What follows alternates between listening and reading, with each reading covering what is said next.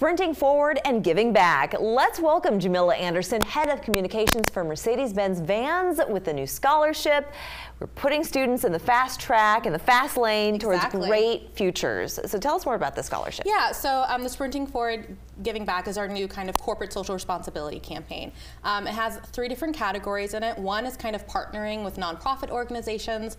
Um, the second portion is the grant program, and the third is the Rising Star Scholarship Program, um, which is offering up to 18 $5,000 scholarships to seniors um, living in Charleston, Dorchester, or Berkeley counties. That's great, and I love the idea that we're home growing exactly. our talent, and that's the whole exactly. point of this, right? Literally, yes. We we are very fortunate to know, like we live, we are in a great place, right? Yeah. Charleston's a great community. It's welcomed us with open arms since we've opened the plant in 2006, and we want to give back to our community yeah. and also help develop that next generation of talent and also get them into our plant. Definitely. Now, do you have to have certain majors for these students, or do they have to specialize in a certain subject? Yeah, no, they can study whatever they're passionate about. There's no restrictions or criteria regarding that. They can be attending a four-year, two-year vocation technical school.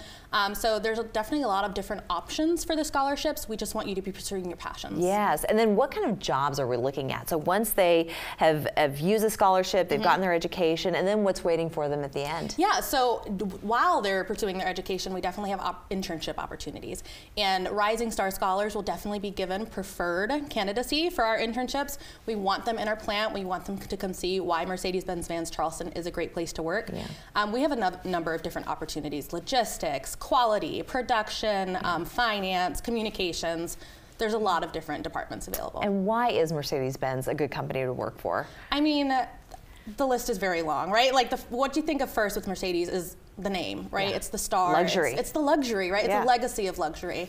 And we're really, really proud to continue that legacy here in Charleston. Yeah, I think that's great. How long has Mercedes-Benz been here now um, Over 17 years. Over yeah, 17 we were, years. We were the first building on Palmetto Commerce. Isn't that something? Mm -hmm. And look at it now. You drive so past it on I-26. Yeah. It's great to see that and, and to see it flourishing. And I know that exactly. in the beginning, you did have to bring in talent from all over the place, mm -hmm. but mm-hmm. now we're really focused on creating talent from within. Exactly. Yeah, that's, that's wonderful. to us. Uh, what other kind of programs is Mercedes involved in as far as the community community goes? And yeah, of course. So we've been doing a lot. Um, we've donated millions of dollars, volunteered countless hours. Um, some of our main partners are um, the South Carolina Aquarium, their red um, turtle ambulance. That's a Sprinter yes. van that we donated to them. Aww. So that's one we're really proud of. We're also a founding member at the International African American Museum. Yep. We sponsored their studio time educational space.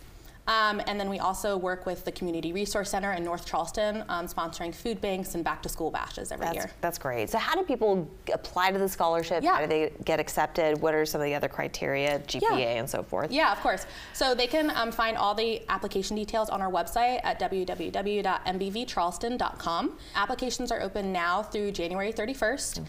To apply, you need a, a copy of your transcript, statement of goals and objectives, some volunteer history if you have any that's mm -hmm. applicable like that.